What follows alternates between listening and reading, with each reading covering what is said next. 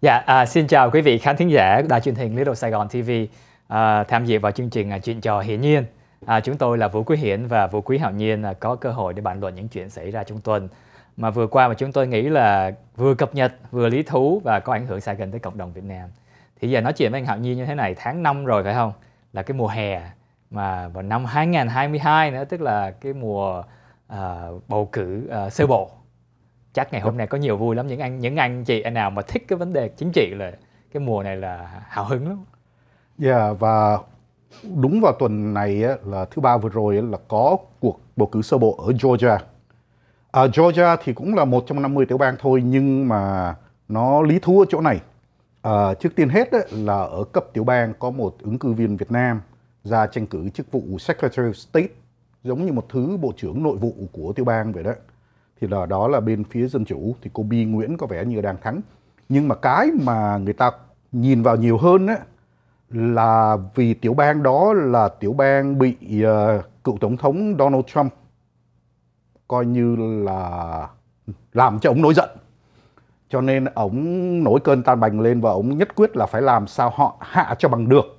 Hai ứng cử viên của đảng cộng hòa là đảng của ông á là ứng cử viên uh, thống đốc là đương kim thống đốc à, và ứng cử viên um, Secretary of State cũng là một người đương kim Secretary of State mà ông ghét hai người đó cho nên ông làm bằng mọi cách phải hạ được hai người đó.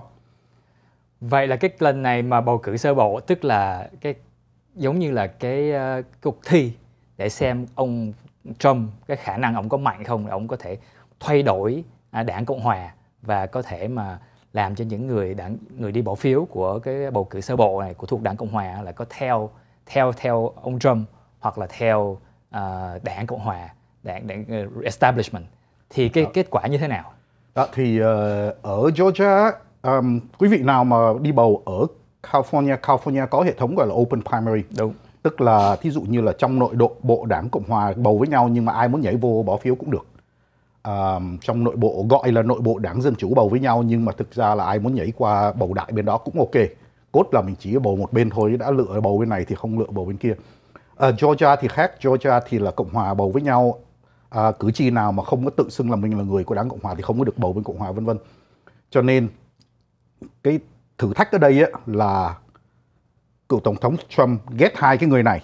Muốn cử tri cộng hòa gọi là đá hai người này bay ra khỏi chức vụ thì là câu hỏi là có đá được hay không thì à, kết quả là là không. không. À, nhưng mà từ trong vòng 4 năm nay rồi 4 đến 6 năm nay là à, đài hay là tin tức này kia cũng cho biết rằng là đảng Cộng hòa bây giờ giống như là đảng của Trump. Vậy thì cái kết quả à, bầu cử lần này anh Hạo Nhiên nghĩ như thế nào? Là có phải là đảng của ông Trump không? Um, ở rất nhiều khía cạnh thì đảng Cộng hòa đúng là đang chuyển mình thành thay vì một đảng theo những cái nguyên tắc của đảng Cộng hòa xưa nay như thế như thế thì bây giờ chuyển mình qua là cái gì mà Trump muốn thì đảng sẽ làm. À, nhưng mà thí dụ như nói cụ thể về kết quả ở Georgia, um, đương kim thống đốc là Brian Kemp.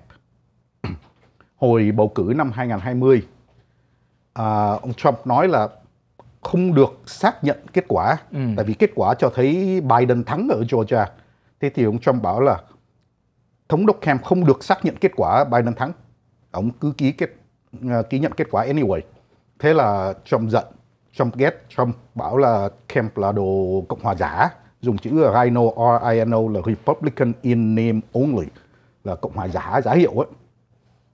Nhưng mà cuối cùng thì ông thắng, thắng, thắng mà thắng lớn nữa. Thắng bao nhiêu? À, thắng 72 với đối thủ gần nhất là người được mà Trump ủng hộ mà không những ủng hộ không mà còn rót tiền vào rồi uh, đi vận động họ rồi tùm lum làm đủ thứ để mà đẩy ông này lên là ông này là cựu um, cựu thượng nghị sĩ um, Purdue David Purdue. David Purdue đúng rồi. Ông này là cựu thượng nghị sĩ. Um, đẩy ông này lên rồi cuối cùng ông được hai mấy phần trăm phiếu à. Uh, một cái cái cái cái cách biệt rất là lớn. Ở. Mỹ mà bầu cử mà cách biệt bảy mấy hai mấy là là coi như chưa từng thấy đấy, landslide là, là, là thường là thường thường bảy mấy hai mấy là có một ứng cử viên sáng giá và một đám lúc nhúc lúc nhúc không à. kể thì cái đó mới bảy mấy hai mấy trong khi đó có một ứng viên sáng giá và ứng cử viên kia cũng coi như sáng giá. Cựu thượng nghị sĩ nha không phải vừa nha. Rồi được tổng thống Trump ủng hộ nha. Nó trong nội bộ đảng cộng hòa ví dụ như nói chung chung cả tiểu bang thì còn còn nói là bọn dân chủ nó thế này thế kia. Chứ còn này là nội bộ đảng cộng hòa với nhau mà một người được sự ủng hộ nhiệt tình có bỏ cả tiền vào nữa mà được cả mấy phần trăm cho nên là cái khoảng cách rất là lớn. Rồi cái uh, thứ nhì là ông Secretary of State tức là coi như là uh, bộ trưởng nội vụ tiểu bang đấy ừ. uh, là người chịu trách nhiệm về bầu cử. Cho nên hồi bầu cử 2020 cũng là um, Trump thì nói là ô ở Georgia ăn gian tùm lum thế này thế kia. Rồi ông bộ trưởng đó tên là là Raffensperger. Raffensperger ông nói là tụi tôi làm đúng sách vở đúng nguyên tắc đúng luật. Chuyện có sao tự làm vậy còn nếu mà có ăn gian thì tụi tôi bắt cái bây giờ không có ăn gian bắt tôi nói là có ăn gian sao được? À, thế là Trump lại nổi giận nữa. Raffensperger lúc đầu thì ta nghĩ là không có cửa. Người ta nghĩ là chắc ông này còn phải về vườn ngay không có đường để mà mà ra ứng cử nữa. Nhưng mà ông vẫn cứ ra ứng cử. Rồi cũng thắng luôn. À, nhưng mà cái 50% đối với ông đối thủ cũng là cũng là một người được um, tổng thống Trump ủng hộ hết mình nhưng mà khi mà phân tích cái vấn đề phân tích cái vấn đề thắng thua mình cũng phải hiểu rằng là ông thống đốc Kemp với lại uh, bộ trưởng bộ uh, nội vụ của tiểu bang Raffensperger là họ là đang đương kim. Thành ra khi mà cái người mà ra đương kim mà ra ứng cử trở lại cái tên nó rất là quan trọng. Tại người ta biết rồi 4 năm hay là 8 năm nay họ đã quen rồi. Về vấn đề của đương thống đốc ờ, đương kim thống đốc Brian Kemp á, là là ông lại nói là gần đây trong vòng năm một năm vừa rồi họ, cái chính nhiều chính sách ông ra nhiều chính sách rất là à, được phổ biến được nhiều người cử tri ở tiểu bang Georgia đồng ý. Thành ra ông mạnh cái chỗ đó. À, khi bởi vậy khi mà phân tích là không biết là cái sức mạnh của ông Trump có là bởi vì là cử tri không theo nữa không hay là cử tri thích cái người này hơn bởi vì những cái người này họ làm việc à, đúng theo ý. À, thành ra là mình nói là mặc dù là ở tiểu bang Georgia cái cái kết quả nó, nó, nó rất là thắng nó thắng rất rất rất rộng rất lớn. Nhưng mà nhiều khi có chưa chắc đã là cái cái vấn đề mà mình để kiểm soát được thêm là mình nghĩ là cái sức mạnh của ông Trump như thế nào. Đó cái đó là cái cái mà người ta đang tính đang suy nghĩ ấy, là những điều mà ông thống đốc này làm ấy, ông Kemp này làm ấy, trừ cái chuyện là ông không có chịu về hùa với Trump trong cái chuyện uh, kết quả bỏ phiếu năm 2020 chứ tất cả những chính sách của ông cũng rất là cực hữu. Ông không phải là người trung dung hay là Đúng. người cộng hòa theo cái kiểu như là um, uh, John McCain hay là um, kiểu kiểu kiểu xưa đâu mà ông đẩy hết tất cả về cái phía cực hữu. Cho nên những người mà cử tri mà người ta thích cái kiểu cực hữu đó đấy ta thấy ông này cũng cực hữu chứ đâu đến nỗi nào chỉ cái điều ok thì thì bị trong chửi thôi. Không nhưng mà cũng ok chứ đâu nỗi nào mà có điều này nữa là ông Kemp không có chửi lại. Không? Kemp không có tỏ ra là mình là chống Trump. Kemp chỉ tỏ ra là Trump nói gì cái vụ mà lờ đi. bỏ phiếu thì mình lờ đi thôi. Lờ đi. chứ còn Trump Kemp không có tỏ ra là mình chống Trump. Mà ông uh, Raffensperger cũng vậy cũng không có tỏ ra là chống Trump.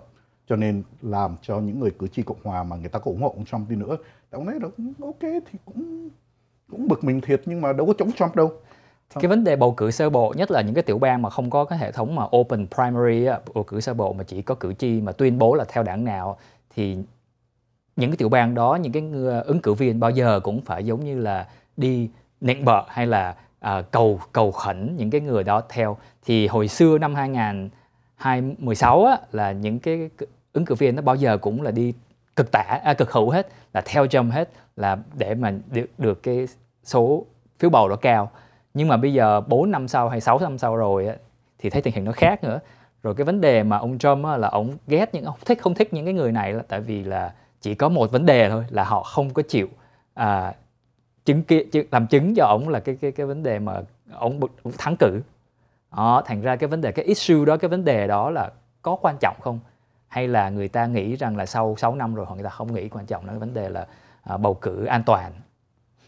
Um, cái đó là cũng tùy đấy Trump ông có một cái tính ấy, là ông đánh giá người ta dựa theo cái gì có lợi cho ông ừ.